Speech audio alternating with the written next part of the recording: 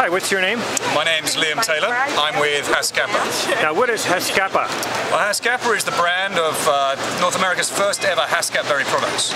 And we uh, launched we launched these in 2014, and we have 40 acres of Haskap grown in Nova Scotia. So, what's so unique about Haskap? Uh, the Haskap berry. The Haskap berry is part of the edible blue honeysuckle family. It uh, it actually has twice the antioxidants of the wild blueberry, has as much vitamin C as an orange, and it tastes fantastic. Okay. And what do you use it for? At the moment, I use it in. Well, at the moment, we have it in juice. This is the world's first uh, berry juice, which uh, won the World Juice Awards in 2013. Okay. So that was that was brand new. That was great. World Juice Awards Best New Juice of 2013. We have a Haskap maple syrup blend. We have a Haskap. We have a Haskap jam. That's a syrup. We have the syrup. We have a Haskap jam? jam, which is right here. Okay. Okay, open it up and let me Open it up, yeah.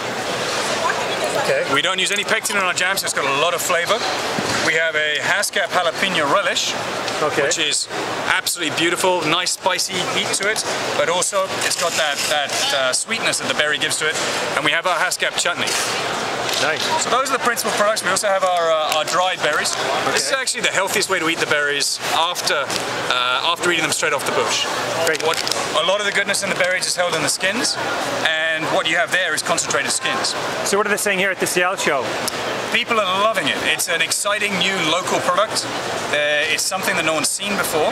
We were finalists at the Innovation Awards, so people are coming to see us, talking about the product, learning about it. Um, the fact that it's a blue honeysuckle allows people to identify it a little bit better as well. Great. So for more information? For more information, you can contact us at Haskapa. Uh, you can visit the website www.haskapa.com. Thank you so much.